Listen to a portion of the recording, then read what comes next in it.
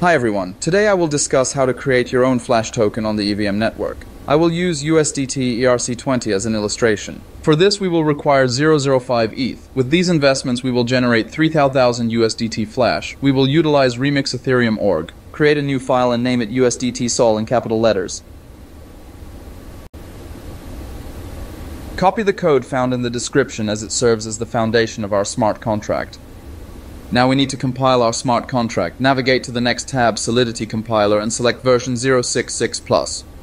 After successful compilation, proceed to deploy and run transaction. In the Environment tab, select Wallet Connect. Link our cold wallet. In the token name line, input tether and token symbol USDT and click Transact. In max fee, we round the figure to the nearest integer upwards.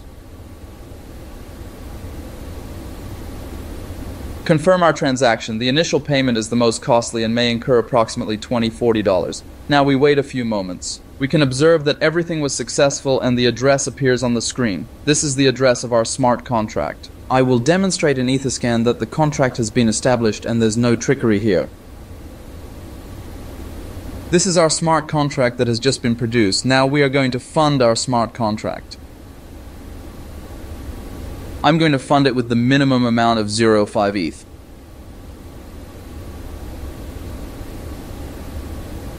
Paste the address of our smart contract, enter the amount, and verify the transaction. In this transaction, the fee will be around 1 to $3.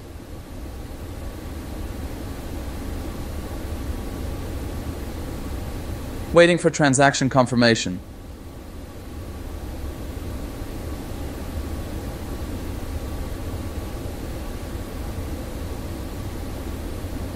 Refresh the page and see that the contract has been funded.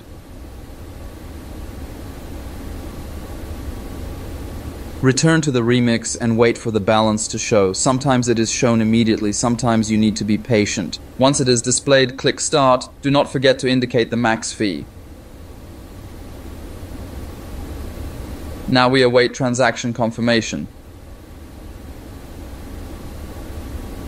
Once the transaction is confirmed, click Withdraw and confirm the transaction again.